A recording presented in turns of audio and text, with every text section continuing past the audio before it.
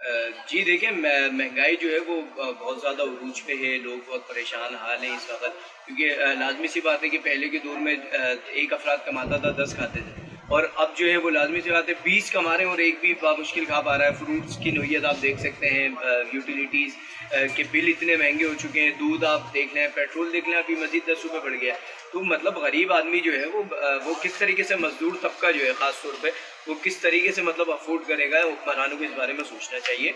मैं as a एक news anchor समझ लें मुझे या एक जर्नलिस्ट समझ लें, मैं बड़ी रिक्वेस्ट करूँगा, अपने अपने हुक्मरानों से, चाहे वो वफाक की गवर्नमेंट हो या सिंध गवर्नमेंट हो, आपको नज़रसानी करना चाहिए इस चीज़ पर कि यार लोग जो है वो हमारे बहुत परेशान हाल हैं।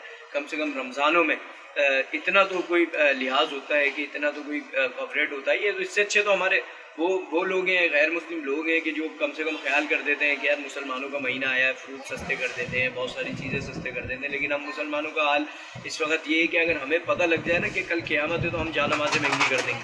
हमारी तो ये कंडीशन है। खैर, अल्लाह हमें हिदायत अदा फरमाए। तो मेरी रिक्वेस्ट है वज़ी अजम साहब से और तमामी तो ख़ास तौर पर हमारी जो सिंध गवर्नमेंट है, इनसे मेरी रिक्वेस्ट है कि आप इस पर नज़र षानी करें। लोग बहुत परेशान हाल है। इस वक्त महँगाई ने कमर तोड़ी हुई है। कोई पैकेजेस ऐसे निकालें कि कराची के आवाम का सिंध के आवाम का जो है वो भला हो। सिंध के बारे में आप सोचेंगे इन सिंध वाले भी आपको तना नहीं रहने देंगे। बाकी आ, मैं और क्या कह सकता हूँ आप तमाम ही लोग बेहतर जान सकते हैं कि गरीब लोग जो है वो पिस्से में इस वक्त। महँगाई की वजह से पता नहीं कितने लोगों ने ईद के कपड़े नहीं लिए होंगे ईद के सूट नहीं लिए होंगे किसी के घर में पता नहीं सहरी हुई होगी नहीं हुई होगी वो तो सो गया होगा बेचारा। भूखा सो गया कि यार महँगाई है सो जाओ है ही नहीं खाने पीने का। उसने क्या करना है? अपने बच्चों को सुला दिया होगा कि छोड़ो, शेरी बस है ही नहीं हमारे पास तो क्या करें? अफ्तार में भी बेचारा कहीं बाल ले जाता होगा। ये तो लोग हैं बेचारे जो अल्लाह का दिया हुआ, जिनके पास वो सहरी अफ्तार करवा देते हैं। तो प्लीज़ मेरी रिक्वेस्ट कि आप इस बारे में सोचें।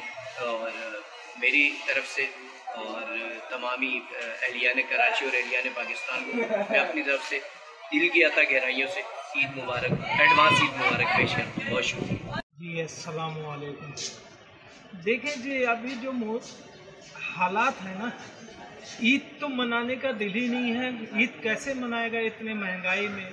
ना हम छोटे दुकानदार तो इस तरीके से मर गए हैं कि बता नहीं सकते।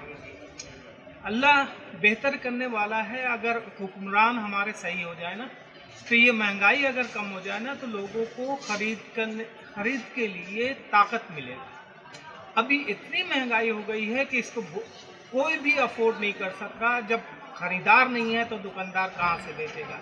इसी तरीके से आगे मीशत कैसे चलेगा मीशत चलाने के लिए बड़ों से लेके छोटों तक को सबको आपको लेकर के चलना होगा। लेकिन यहाँ पे तो कोई किसी का पुरसान हाल नहीं है। महँगाई इतना हो गया कि कमर तो हो गया आप हज़ार रुपये लेकर के निकले आपको दो तीन सामान से ज़्यादा मिलता नहीं है। खर्च के लिए आपको सब्ज़ी लेने के लिए जाए, हज़ार रुपये ख़त्म। तेल, घी लेने के लिए जाए, हज़ार रुपये, पंद्रह सौ रुपये ख़त्म हो जाता है। ऐसे में आदमी कहाँ बर्दाश्त कर सकते जो बीस हज़ार, पच्चीस हज़ार रुपये, तीस हज़ार रुपये कमाने वाले हैं, वो बिजली का बिल दें, घर का किराया दें, या अपना पेट पालें। ऐसे में समझ में नहीं आ रहा कि आदमी जाए कहाँ, जिनके चार बच्चे हैं चार बच्चों को लेकर के गुजारा करना, पढ़ाई लिखाई कराना, ये सब जो है ना एकदम बहुत आगे, बहुत बहुत पीछे हम चले गए अल्लाह करे कि कोई पुरसान हाल हुकूमत आ जाए, कि गरीबों का जो है ना पुरसान हो जाए। इस तरीके से जो है आदमी बर्दाश्त कर सकता वरना अब तो फाका कशी आ गया है। फाका कशी में भी जो है तो लोग तो हम तो फिर भी जो है तो दो वक्त का खा रहे हैं। दिहाड़ी मजदूर जो हैं, रोज़ाना कमाने या रोज़ाना खाने वाले, वो लोग, उन लोगों का क्या हो रहा है, कोई पता नहीं। आगे, ईद। देखे ईद में जो लोग तीन तीन, चार चार जोड़ा हम बनाते थे, अब हमारे पास जो है तो दो जोड़ा, एक जोड़ा भी नहीं बन रहा है। पुराना कपड़ा लेकर के हम ईद के तैयारी कर रहे हैं? अब बच्चों को लेकर के चले, अपना बनाए, क्या करें? यही है। आगे अल्लाह मालिक है, आगे जो होगा देखा जाएगा। देख रहे हैं, जैसे कि हम आए हुए हैं ख़रीदारी करने के लिए। हर साल हम अपनी वालदाओं के चार चार सूट बनाते थे, माशाल्लाह से वालदा के। आज हम एक सूट ले रहे हैं। घर वालों के कपड़े लेने आए हुए, वालिद साहब के लिए कपड़े लेने आए हुए। महँगाई इतनी हुई है कि एक एक सूट पंद्रह पंद्रह सौ, दो दो हज़ार रुपये के प्राइसेस हो गए क्या बनाएँगे हम अपने घर वालों के लिए कपड़े यार? आप बताओ ना, इतने महँगाई हो गई है। ये सूट जो हज़ार हज़ार रुपये के, आठ आठ सौ रुपये के लेके जाते थे, आज पंद्रह पंद्रह सौ रुपये के बेच रहे हैं। ये वालदा का सूट मैं पिछले साल लेके गया था, चार सूट लेके गया था छः हज़ार रुपये के, पंद्रह सौ के हिसाब से, आज पच्चीस सौ रुपये का यही सूट मिल रहा है। तो यार क्या करेंगे, हम कहाँ से कपड़े बनाएँगे? इतनी महँगाई हो गई है, चप्पल लेने जाओ तो चप्पल ही हज़ार हज़ार, बारह बारह सौ रुपये की तो इस वक्त ये आलम है भाई महँगाई का। तो हमारे ऊपर भी कोई भाई गौरव फ़िक्र करें, हुक्मरानों से हमारी अपील है। कि आम आवाम भाई मर रही है, ईद ईद नहीं लग रही है। जो खुशियाँ होती थी बच्चों के लिए, बड़ों के लिए जो खुशियाँ होती थी, खुशियाँ नज़र नहीं आ रही हैं इस बार।